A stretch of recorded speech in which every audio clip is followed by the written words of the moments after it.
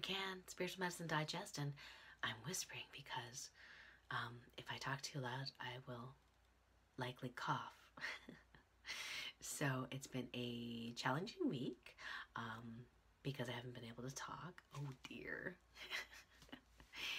uh, talk well anyway. Um, and so I came back from San Diego, the Wellness Leadership Academy, and while in San Diego, there was an event that was very interesting. And literally, we woke up, many of us woke up polarity reversed, meaning that if you were to muscle test a yes, it would have been a no, and no would have been a yes, meaning that our energy, like, um, direction is like opposite. And in fact, my poor mom, before I even had a chance to check on her, uh, WhatsApped me and, and said, I just got out of bed. I fell and hit my face and head on the end table. And she had a big, huge bruise on her leg. I felt so bad. my poor mom.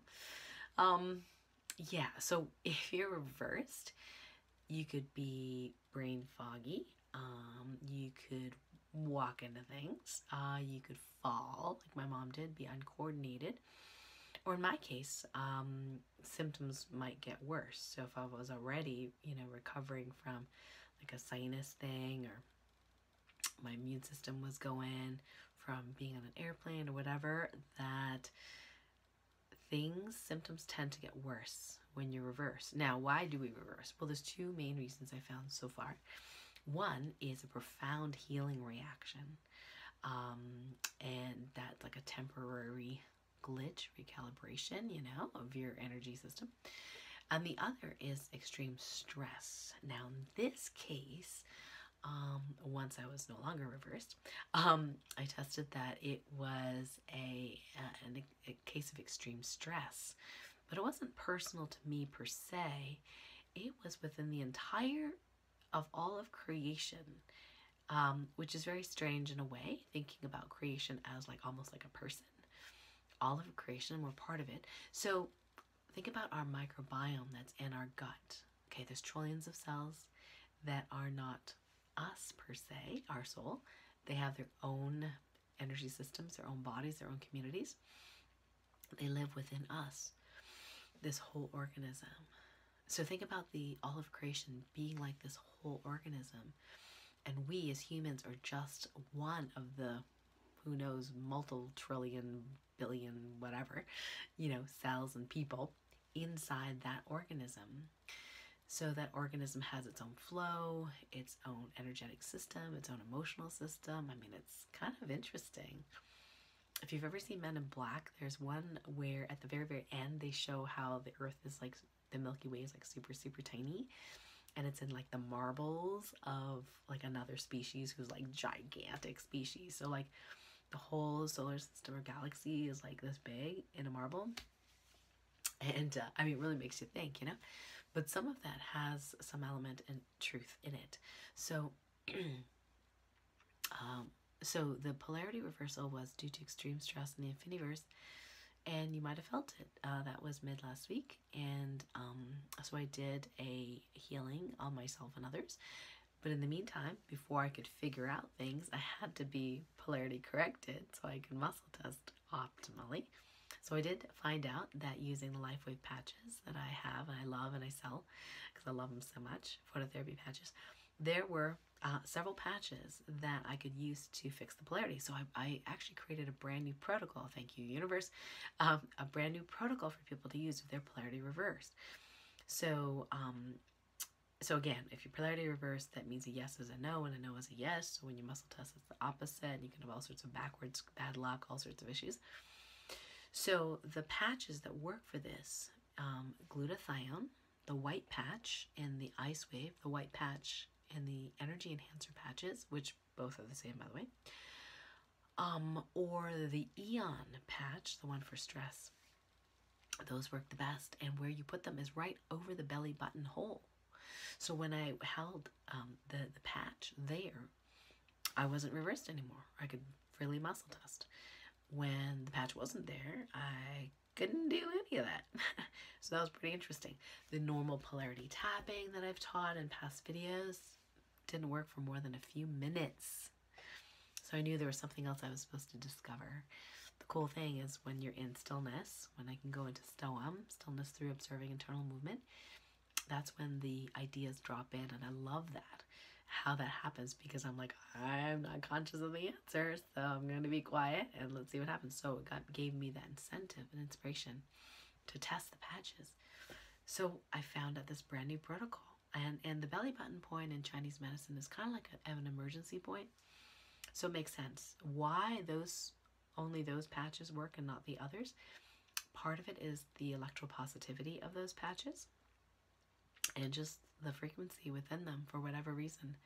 They seem to help with polarity reversals. So, yeah, try it out. See if that works for you. Um, so, luckily, that uh, the whole world, place, universe, infinity universe, whatever, uh, being uh, reversed didn't uh, have too many. well, I shouldn't say didn't have too many consequences. I saw sirens and all sorts of stuff happening. But, um, well, it, it didn't last as long as it could have. Let's put it that way. So that part's good. uh, so so um, this week has been interesting because for me personally, because it has been really calling into question my ability to say no and do self care, and I tend to love you know giving and love to um, you know do my thing, my magic, and and it's been really challenging because of not being able to talk for long. In fact, I'm probably going to be in a minute or two up to my limit. Um, so, and I'm trying to do buteyko breathing, which is like breathing through the nose, which is really challenging.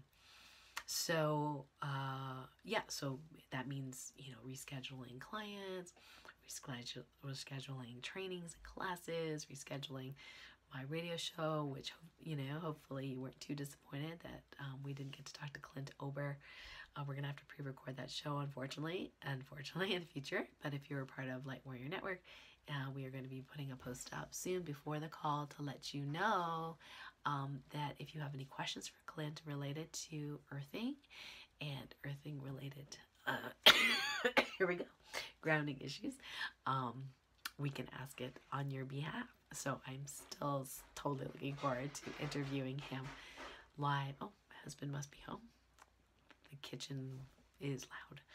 Um, yeah, so so it's definitely been challenging for me, but you know, life happens, and I think for me, it's a, a way to practice what I preach.